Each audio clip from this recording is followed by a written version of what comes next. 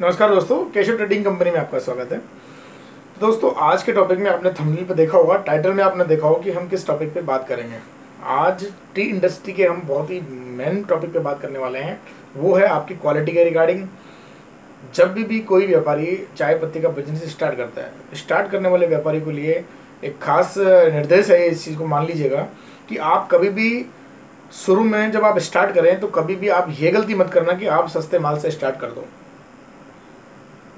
आप कहीं पे भी रिसर्च कर लेना, कहीं पे भी पढ़ लेना, कहीं पे भी सुन लेना। कभी भी आदमी, कोई भी लो ग्रेड का माल लेके और बड़ा नहीं बना है चाय बाज़ार में। अगर आपको कुछ करना है, बहुत आगे तक अपने बिज़नेस को लेके जाना है चाय पत्ती के व्यापार में तो आप कभी भी लो ग्रेड की चाय, कम रेट की चाय से आप बिल्कुल स्टार्ट मत करना।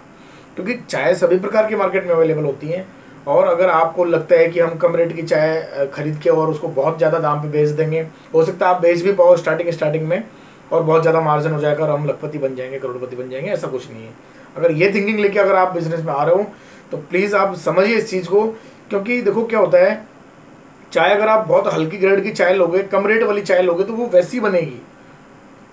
अगर आप उसको अगर अपने पैकेट में डाल के सेल कर रहे हो, या आप डायरेक्ट भी जैसे भी सेल कर रहे हो, आपका कोई भी मोड है तो अगर आप हल्की रेट की चाय लोगे तो वो हल्की चाय बनेगी।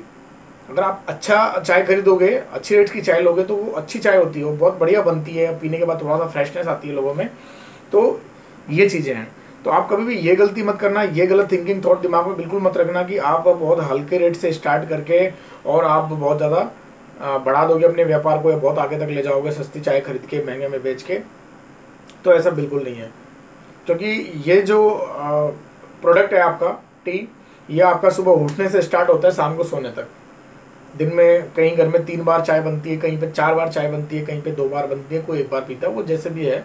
लेकिन कंज्यूम लगभग हर घर में होता है ये प्रोडक्ट तो ये बेस्ड है टोटल कस्टमर सेटिस्फेक्शन पे। अगर आप सेटिस्फाई नहीं कर पाओगे अपने प्रोडक्ट से सामने वाले को तो आप एक या दो बार ही अपने प्रोडक्ट को उसको दे पाओगे। उसके बाद आप किसको दोगे?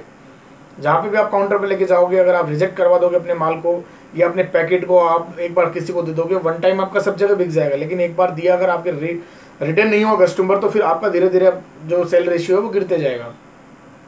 अगर आप स्टार्ट ही एक बहुत अच्छी क्वालिटी के माल से कर रहे हो, थोड़ा सा एफर्ट ज़रूर लगेगा आपको सेल करने में। लेकिन अगर सेल होने के बाद प्रोडक्ट सामने वाले को पसंद आ रहा है तो वो गारंटी से रिटर्न होगा और ज़रूर आपको वो चीज़ प्रॉफिट देगी। आने वाले टाइम में आपका बिज़नेस अगर बड़ा हुआ तो आपके ब्रांड की वजह से बड़ा हो सकता है, आपकी क्वालिटी की वजह से बड़ा हो सकता है। अगर आपने ब्रांड अगर अपनी क्वालिटी और ब्रांड पे अगर आप ध्यान नहीं दिया आपने बिल्कुल भी तो आप ज़्यादा दिन तक फिर इस बाज़ार में नहीं टिक पाओगे।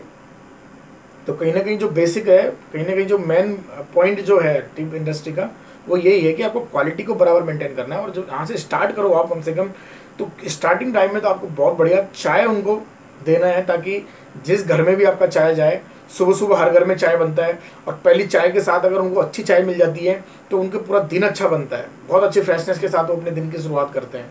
और कई बार देखा होगा कि हम भी कहीं अनदर जगह में चाय पीते हैं और जैसे चाय पीते हैं तो पहली सिप के साथ ही हम अपना मुँह बना लेते हैं कि यार क्या चाय दे दी।